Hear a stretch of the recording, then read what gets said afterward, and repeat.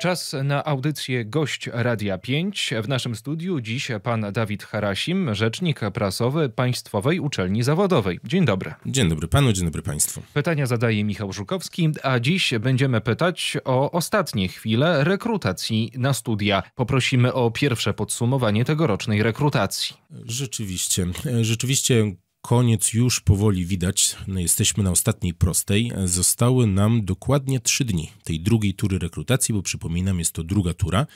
Po pierwszej już, po pierwszej turze rekrutacji mamy już mnóstwo studentów zakwalifikowanych na studia. Uruchomiliśmy drugą turę rekrutacji ta druga tura rekrutacji a w zasadzie rejestracji elektronicznej kończy się 17 e, września, więc jeszcze trzy ostatnie dni e, czekamy e, na wszystkich, którzy jeszcze się nie zdecydowali, bo, bo naprawdę warto. Pierwsze podsumowania pyta pan. Na nie pewnie przyjdzie pora za, za kilka dni. Natomiast co już można powiedzieć, e, to to, mm, że między innymi ogromnym zainteresowaniem cieszy się i z tego jesteśmy e, po prostu przeszczęśliwi, e, cieszą się tak zwane studia popołudniowo-weekendowe.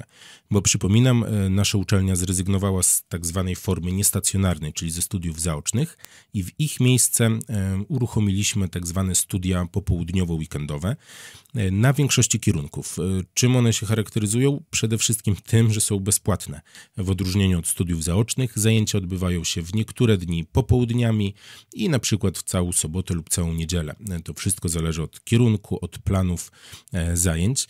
Natomiast jest to właśnie oferta skierowana między innymi do osób pracujących, do osób wychowujących dzieci, do osób, które chcą połączyć studiowanie też z innymi, e, z innymi czynnościami, więc naprawdę ciekawa opcja i widzimy już po pierwszej turze i po e, rekrutacji w drugiej turze, że naprawdę cieszy się dużym zainteresowaniem. E, są kierunki które mówiąc kolokwialnie wystrzeliły bardzo w górę. Na przykład najwięcej chętnych e, jest na pielęgniarstwo w tym roku. To też cieszy ze względu na oczywiście potrzeby rynku regionalnego, bo tych kandydatów na studia pielęgniarskie jest naprawdę dużo. Od kiedy ja pamiętam, to takich, takich liczb nie było, więc to też bardzo cieszy.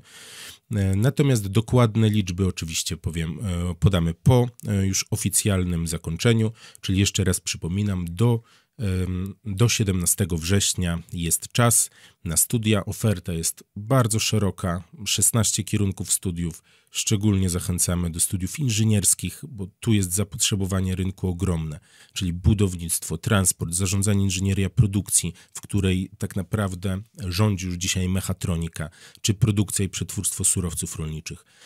Polecamy szczególnie logistykę, nowy kierunek, który w ubiegłym roku po raz pierwszy ruszył na naszej uczelni. Tej opcji, tych opcji jest naprawdę bardzo dużo, zdecydowanie każdy znajdzie coś dla siebie, ale mamy tylko trzy dni.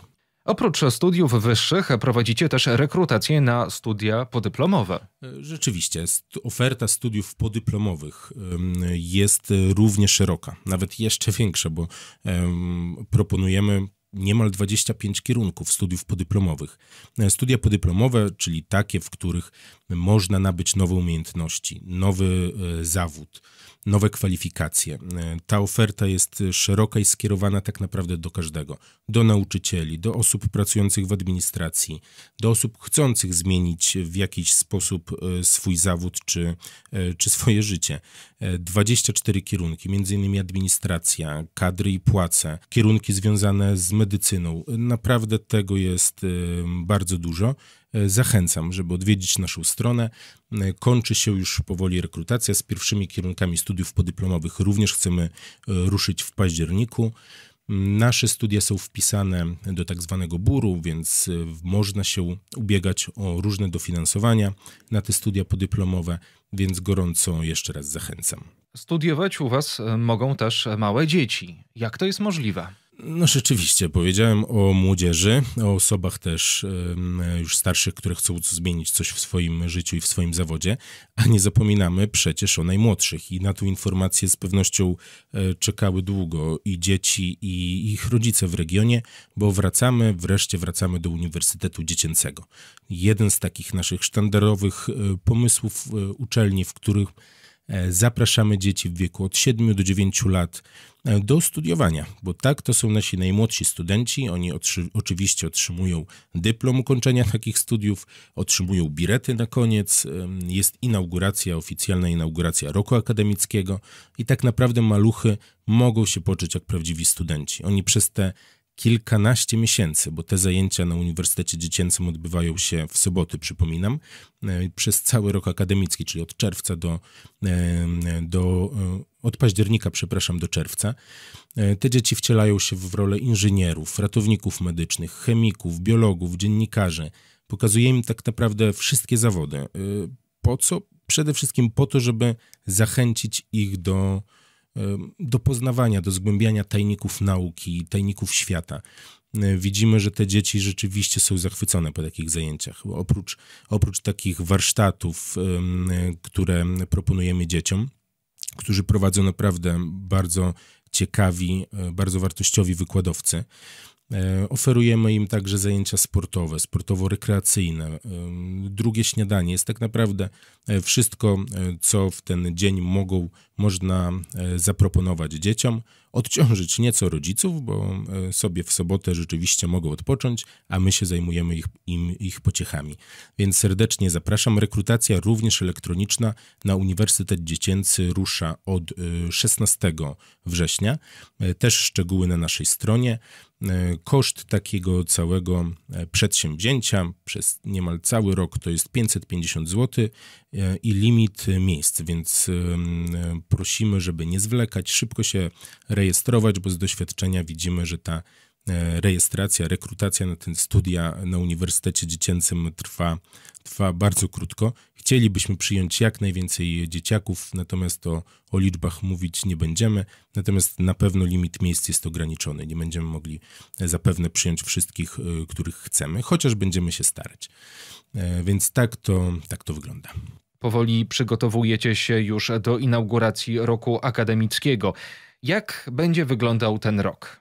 No z pewnością bardzo długo wyczekiwane. Już wszyscy nie możemy się doczekać, przede wszystkim studentów e, na naszej uczelni. E, doskonale wiemy, jak wyglądał ostatni rok, końcówka tego roku akademickiego, zajęcia zdalne, hybrydowe. E, nie wykluczamy oczywiście, że te zajęcia hybrydowe nadal będą trwały u nas na uczelni, bo decyzje jakby zostawiamy dziekanom. Część wykładów może odbywać się również w formie zdalnej. Natomiast w gro tych zajęć, zwłaszcza praktycznych, laboratoria, ćwiczenia praktyczne odbywają się oczywiście stacjonarnie, więc już nie możemy się doczekać e, studentów i, i tego, żeby uczelnia e, znowu ich gościła w swoich murach. Rzeczywiście przygotowujemy się już mocno do inauguracji. W zasadzie ona jest praktycznie już przygotowana. 5 października ruszamy oficjalnie z nowym rokiem akademickim. Zaproszenia akurat dzisiaj już drukujemy.